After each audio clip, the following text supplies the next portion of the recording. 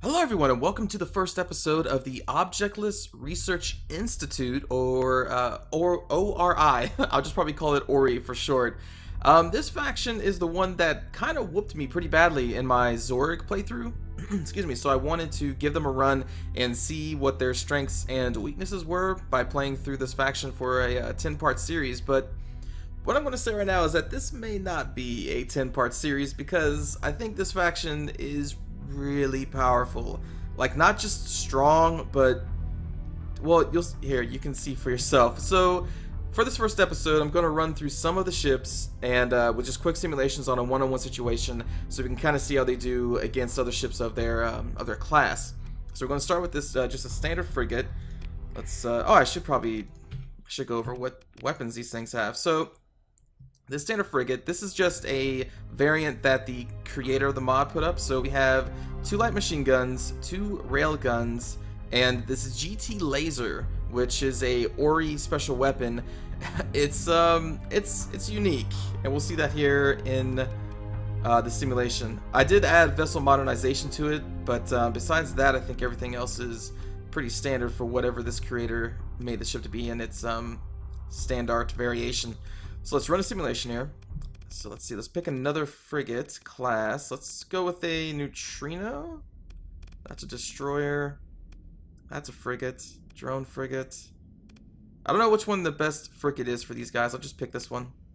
Let's see how this uh, this ship does. So this is kind of, you know, showcasing these ships in a one-on-one -on -one, uh, situation. Also note that this um, platform special ability is Accelerated Ammo Feeder, which all of its weapons are ballistic, so keep that in mind. Alright, oh, this is a phase ship. Okay. Well, this is probably going to be pretty easy. And Accelerated Ammo Feeder, and like, just look at that GT laser, like, it's really inaccurate, but we'll see some more of that in a, another ship coming up. I guess it's probably a, a very poor uh, simulation because. Well, actually, no, he's kicking my ass. Hold on, hold on, hold on. I need to kind of be careful.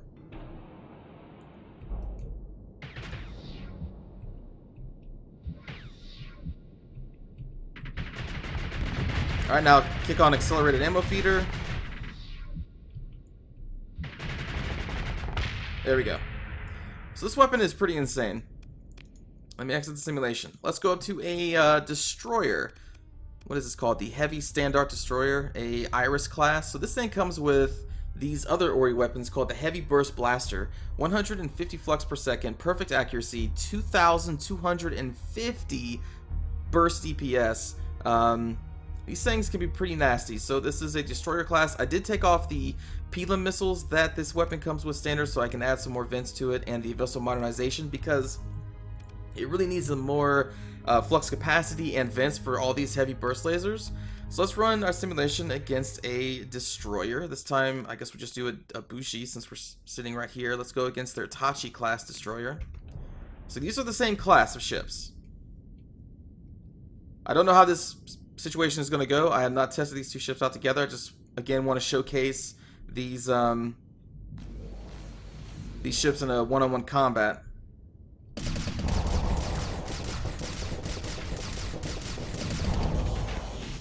Alright, so after two salvos of the heavy burst. And, easy peasy. Alright.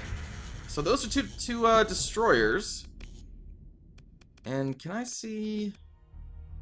I can't see its uh, stats from here, so let's go to the fleet screen real quick, and we'll get to the others here in a bit. So, the thing is, it does take 8 supplies a day, which I think is pretty high for a destroyer. This frigate takes uh, three supplies a day, but um, actually, I can check and see what that Bushi Destroyer takes in terms of supplies. But yeah, these things are pretty crazy because they have a common thing I'm seeing in this faction is that they have a lot of weapon slots, a lot, and they seem to be able to just kind of use them all at the same time. All right, let's go back to refit. Let's go on to the next um, ship here. It's this cruiser. Now the standard setup for this thing I, am not using. It comes with uh, eight assault chain guns, which are high explosive damage, specific, uh, high, yeah, high explosive damage. And then it comes with this Gauss Rotator, which is another Ori weapon, I believe. I don't think I've seen this before. It's a kinetic damage, 333 flux per second, good accuracy, 417 DPS. Um, this thing's pretty crazy.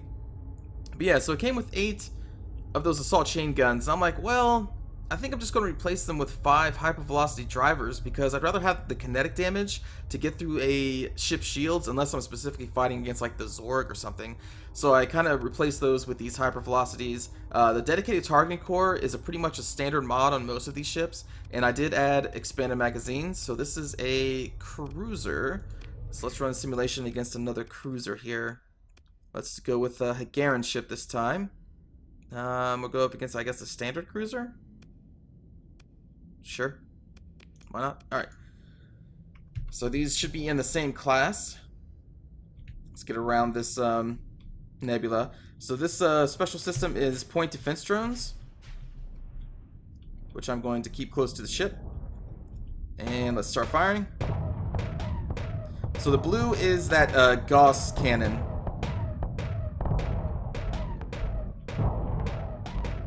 Yeah, my my um way of thinking when it comes to kinetic and high explosive. I'd rather have the kinetic damage than like 8 high explosives, plus the assault chain gun are a shorter range because if a ship if you get through its shields, you're, you know, like like what I'm doing here. The kinetic damage weapons are doing less damage than a high explosive to the armor, but I'm eventually going to win the situation. I mean, just look at this. Like, this ship is obviously going to lose. And I can just keep firing, like, all day. I'll eventually get through its armor. Like, there we go. I'm starting to get through its armor a little bit. So, in this one-on-one -on -one situation, with these sim similarly classed ships, I'm going to win. Obviously. Alright, so we just exit the simulation. So that's this ship. Although it is pretty unique because um, the way that its weapon mounts are positioned, when a enemy ship in another test run I did, I should probably raise these combat readiness readiness up the ship couldn't really disable the weapon mounts because it was either hitting on like the sides here or in the direct center. So um, it, it allowed me to have my shields down and continue firing with my main weapons, which was pretty cool. It's a unique looking ship.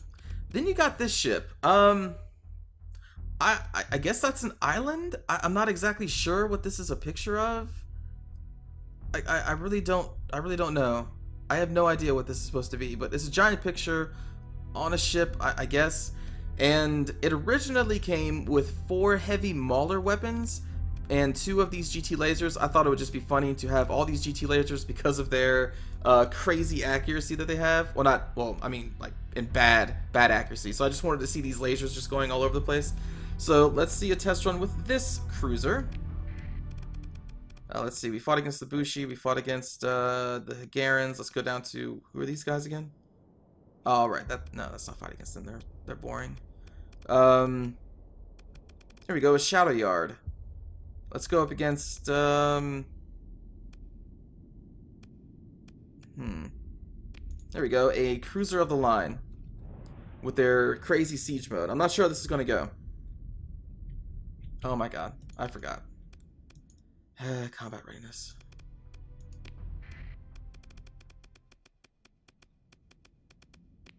Try that again. All right. So this also comes with point defense drones. It also has a bunch of point defense lasers around it. Um, like I said, these these ships just come with so many weapon mounts.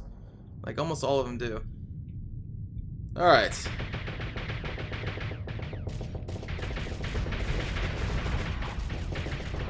So you just kind of see how like the accuracy goes pretty crazy. But um, the ship has pretty high venting, has a lot of uh, flux capacity, and the range in these things are pretty crazy. Also, I noticed like the venting seems pretty fast. I have not put any upgrades into venting at all, and all the ships seem to vent pretty fast, so I don't know, maybe all ships vent this fast, I just haven't noticed. Just wait a little bit to get some burst damage. Wait a little bit, do some burst damage. Although this is kind of odd because this ship isn't using its siege mode.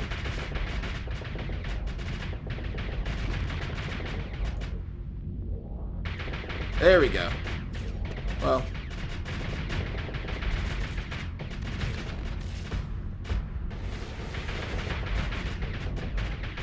And with its point defense drones and all the point defense weapons it has due to all of its weapon mounts, missiles have a tough time of getting through. Like I, in my previous test runs that I've done before recording, I haven't really needed to raise my shields at all.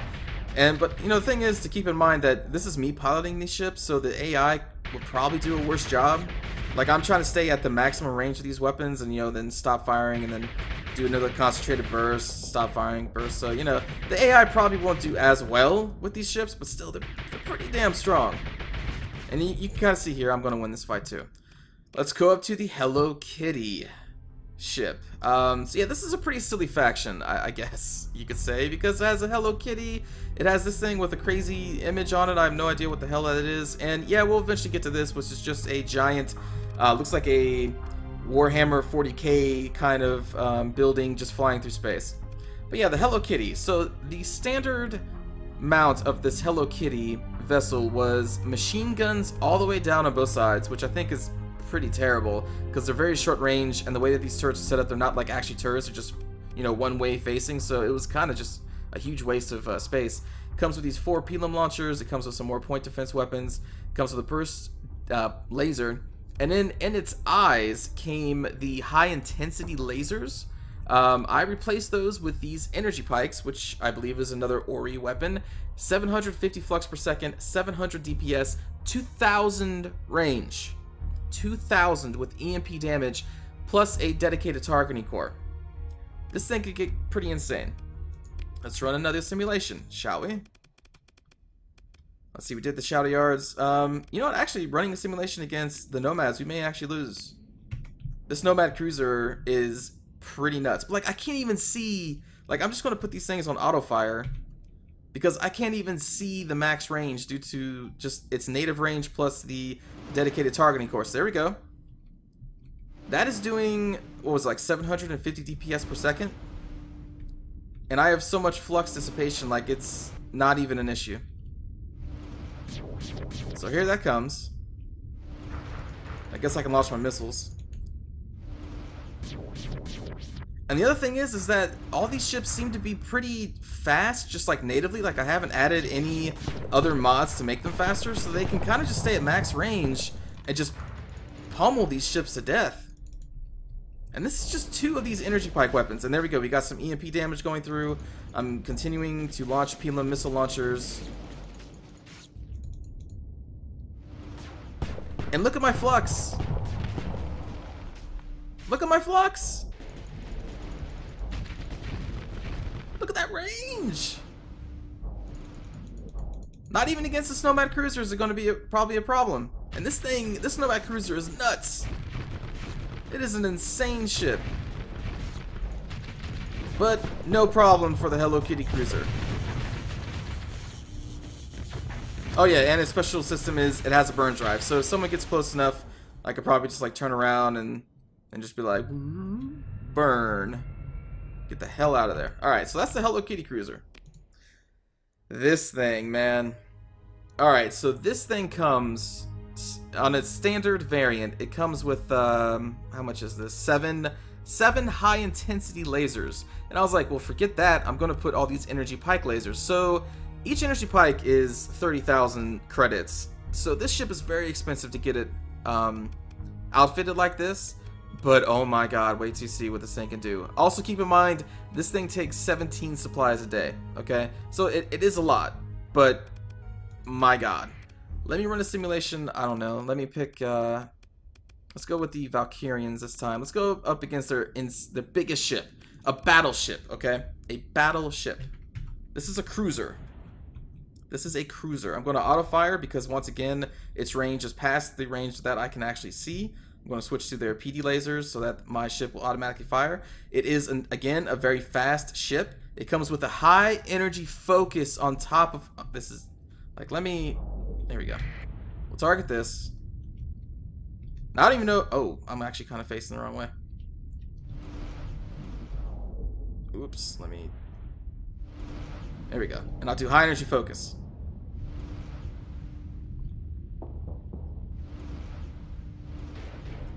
I'll just quickly vent. Oh shit. Oh shit. That may actually hurt. That may actually hurt.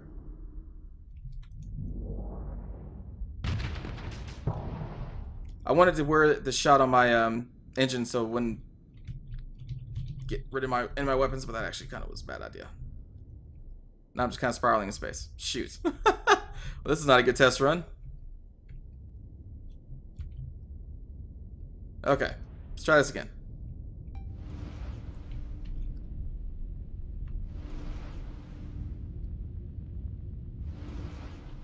Yes, so like I can vent almost instantaneously, it seems. And then keep firing. I guess maybe against the ship it...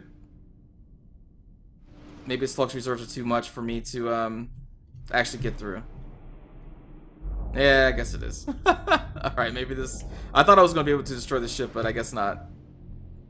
Even with the high energy focus on. Yeah.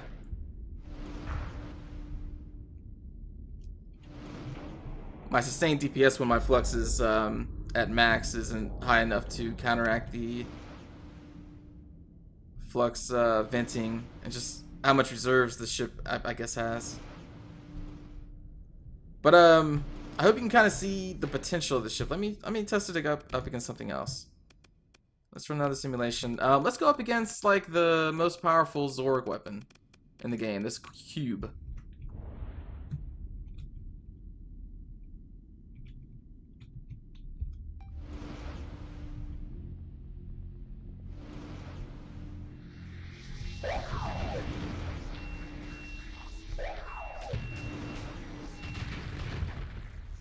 Alright, actually just take some hits there. I'm going to vent.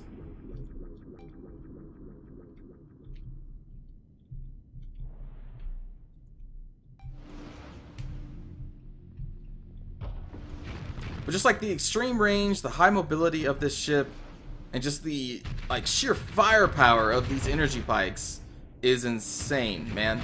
Let me vent again, especially when it comes against Zorg, because they don't even have any shields to wear any of this damage, so... It's just like, it's just free damage. Look at that.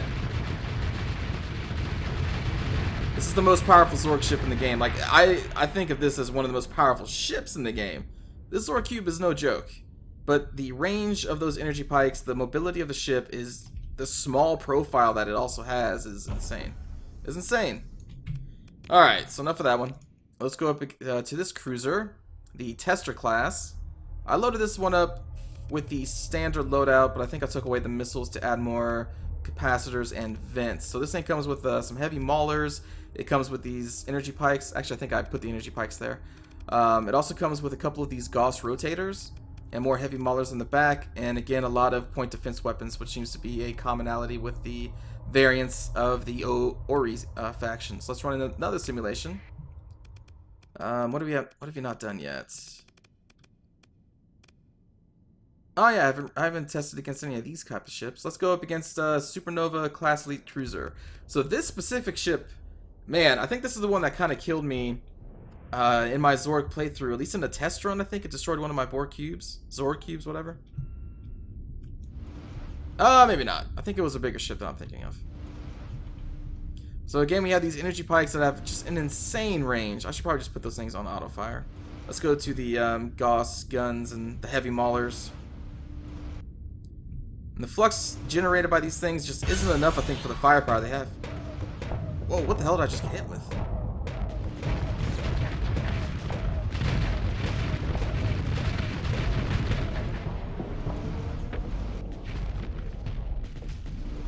Well, this ship kind of had no chance. Uh, maybe we should test it up against something bigger. Uh, what is this thing? An assault battleship. Yeah, sure, why not? Let's do it. Again, let's put that on auto on uh, auto fire. Hello, auto fire. There we go. Whoa! Oh yeah, this thing. I remember you. I've actually played with this ship before. All right, let me go to uh, get in range here. Start firing.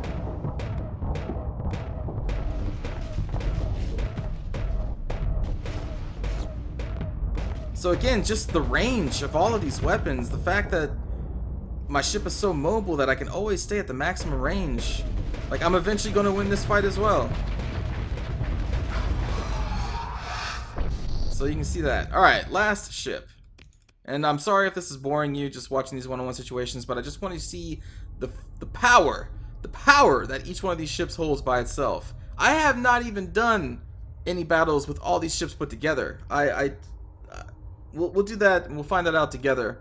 Uh, how crazy this fleet can be when it has all the ships together. So this thing comes with uh, six of those energy pikes. It comes with three Mjolnir cannons, um, multiple heavy maulers, hyper velocity drivers, point defense weapons out the yang, pulse lasers, uh, these Hurricane MIRV launchers. It, it's it's just insane. It is insane. Let's run a simulation. uh, what could even like possibly defeat this? I don't even know. Let's uh, let's go up against that um, Valkyrian ship. It was the only one that was able to hold off the uh, that other ship I showed with all those pike lasers. So this ship also has a burn drive, so it seems like most of them have either burn drives or point defense weapons. Point defense drones.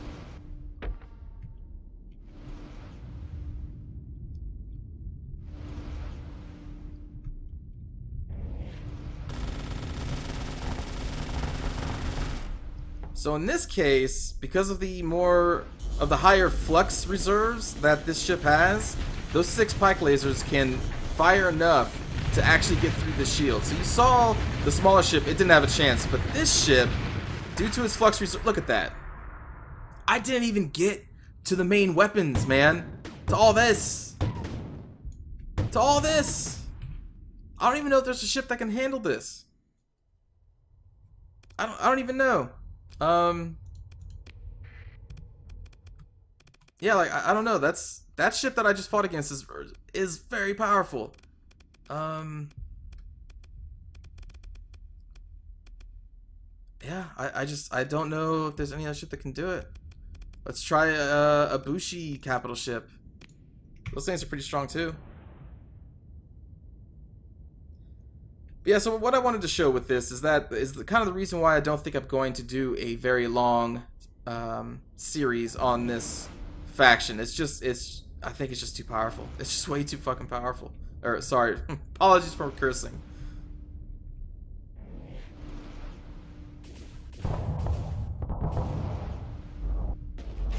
Yep.